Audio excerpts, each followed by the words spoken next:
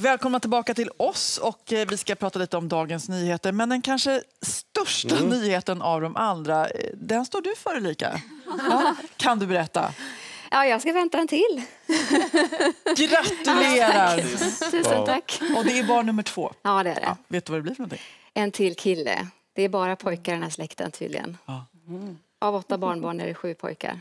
Sju pojkar. Ja. Men så roligt. Det är en Nyhetsmorgon-bebis till som vi kan liksom följa. Men eh, hur, eh, när kommer den komma ut? Eh, slutet på januari eller början på februari, där någonstans eh, är det planerat. Men hur orkar du gå upp på morgnarna här? Och Ja, men nu det? går det bra. Jag hade en svacka där innan semestern men då hoppade Madde in lite grann för mig ibland. Och det där med att vara illamående och mörka Ja, alla. du, får inte lägga en maräng i rutan. Det, Nej, det har jag inte gjort, men hemma gjorde jag det. har du gjort det? Nej men fy. Då kan det bli lite kul här i alla fall den här morgonen. Nej. Men halvtid är det va kan man säga? Ja, jag är över halvtid. Jag är Ja, vecka, över 20, halvtid. vecka 22, så det Ja. är dags att sluta med bilsiga blusar nu. Ja. Men det är Ja. några som har sett redan, som har redan förstått att det, det här Är är, det så? på gång. Ja. Och sagt någonting.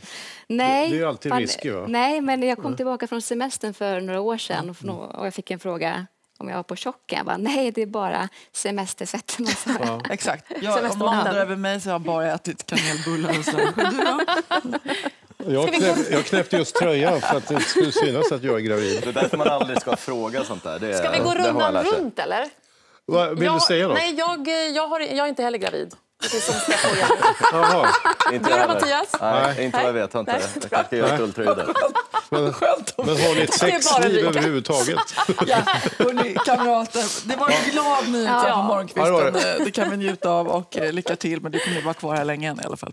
Ja, Ja, till november kanske. Till november. Sen skjuter jag ut mig. ja.